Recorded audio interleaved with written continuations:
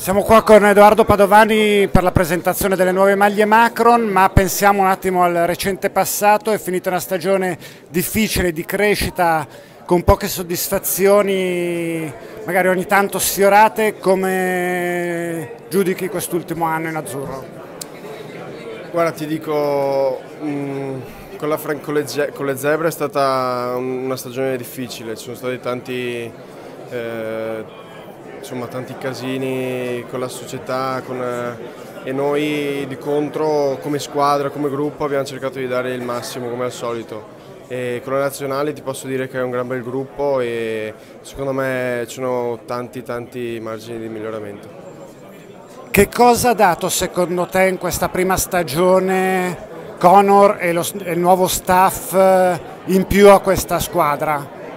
Guarda, ti, almeno personalmente posso dirti che è stata veramente eh, un grande impatto professionale, nel senso che Conor, Mike, eh, Gusen e insomma il, il De Carli sono stati veramente professionali in quello che hanno fatto, tutto quanto e secondo me ci toglieremo delle grandi belle soddisfazioni.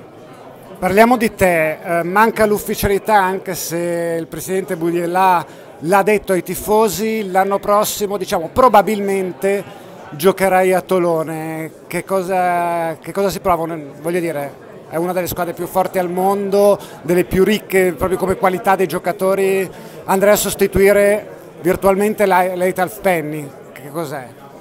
È veramente un sogno, è, l'ho già detto, lo, lo rimarco, è, è, stato proprio un fulmine a ciel sereno, nel senso che non me l'aspettavo assolutamente una chiamata del genere, ovviamente ci speri sempre, ma quando succede davvero è, è veramente una cosa incredibile.